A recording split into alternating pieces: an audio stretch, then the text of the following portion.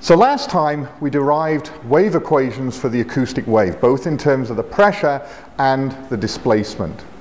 Now what we want to look at is we want to look at wave power. Now we've already done this for the wave on a string and we came up with an expression that was always positive because we've always got a positive power transmission for a wave.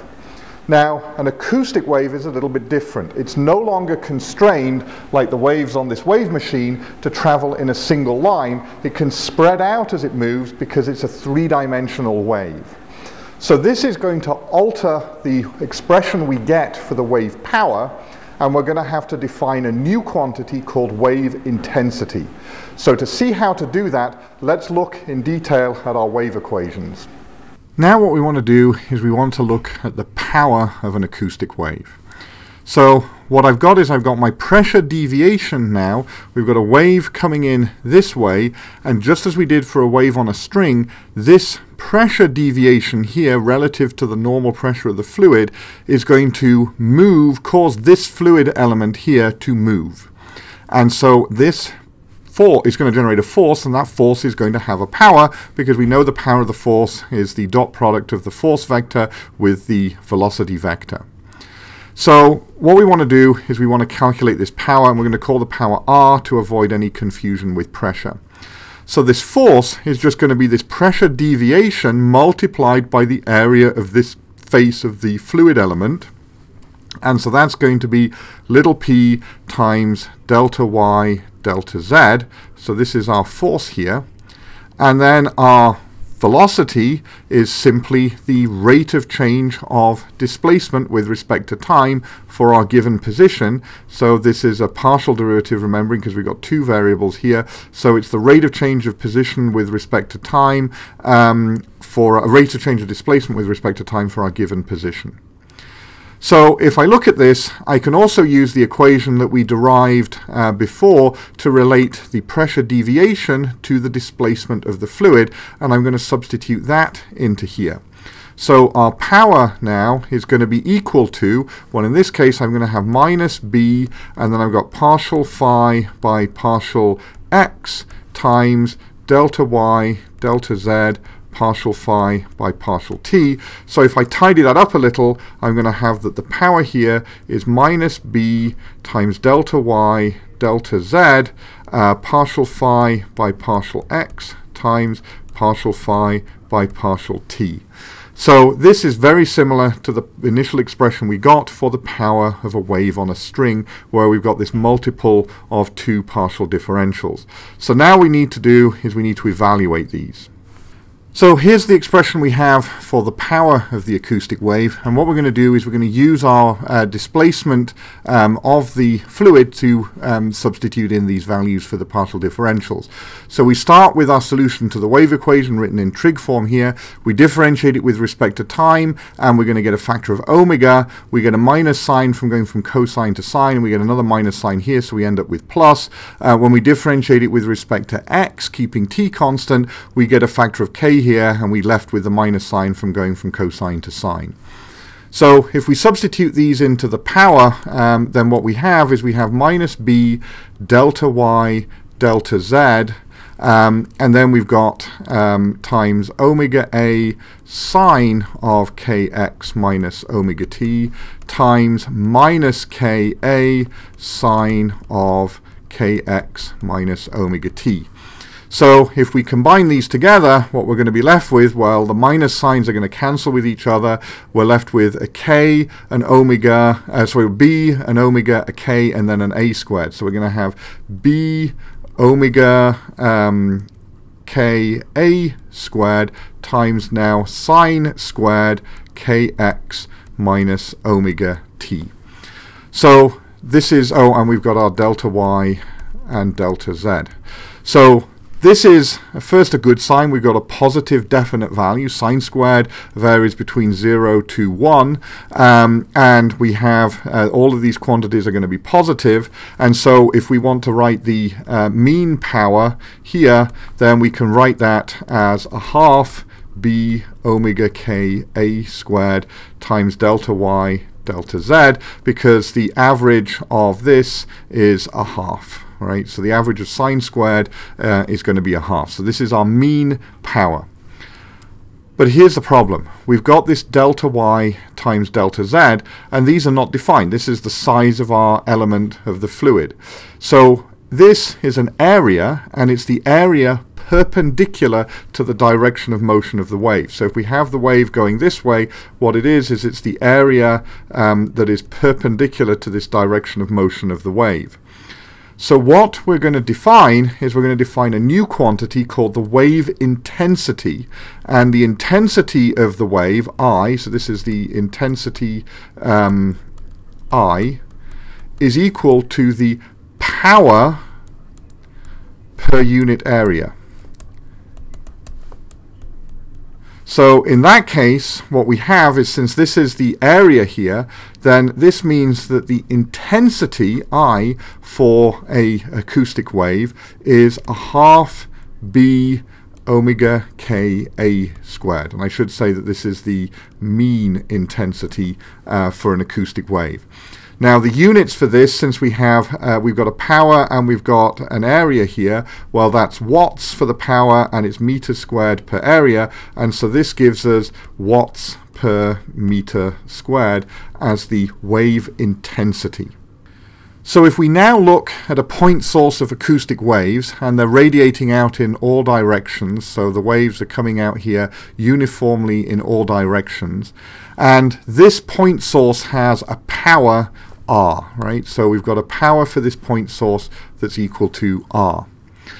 Then if we look at the waves a distance r away from this point source, the total area of this sphere is going to be 4 pi r squared. So we're looking at the surface now of this sphere surrounding this point source in the middle.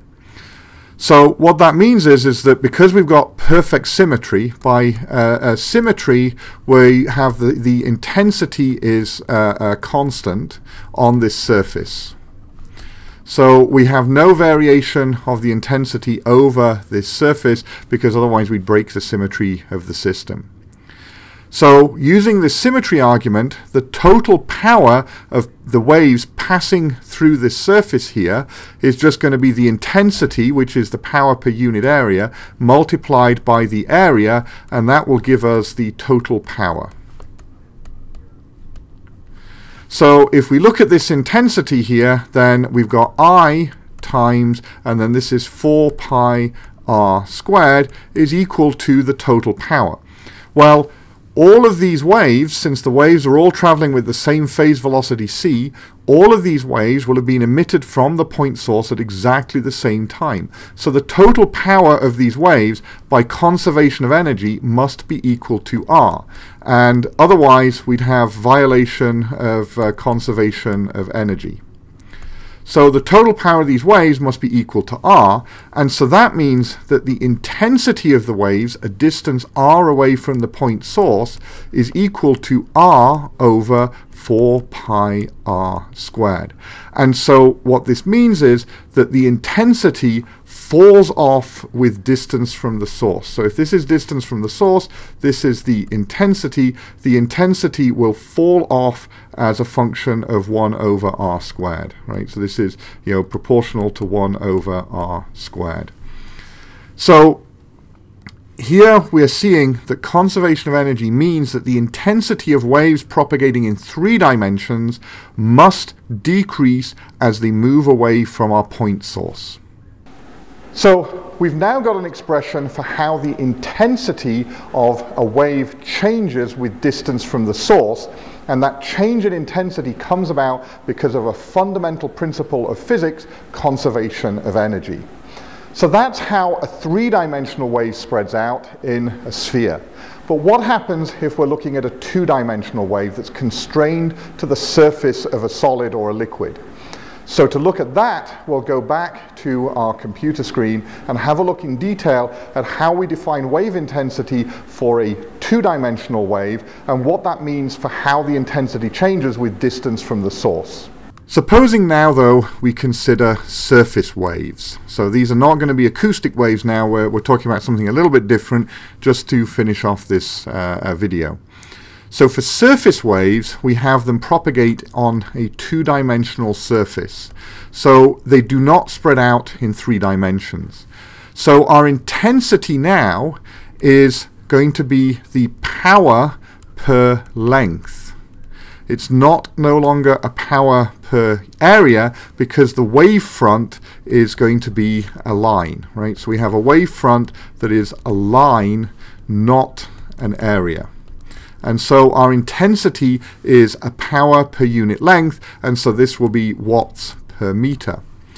So if we make the same argument that we did for our three-dimensional acoustic wave here, then what we have is we have the intensity of this wave multiplied by the length of the wavefront, where this is 2 pi r, and these waves at this circumference here were all emitted from this point source at the same time. So if the point source has a power r, like we had before, then by conservation of energy, the intensity, which is the power per unit length, multiplied by the total length of the wavefront, must be equal to r, and so that means that the intensity of the waves will be the um, total power of the source divided by 2 pi r.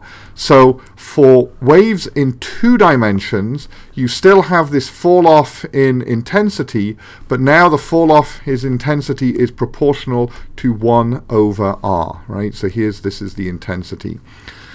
So now we've got expressions for how the intensity of a wave changes with distance for the source, both for a two-dimensional wave that's constrained to be on a surface and a three-dimensional wave that can transmit itself through the bulk of a material.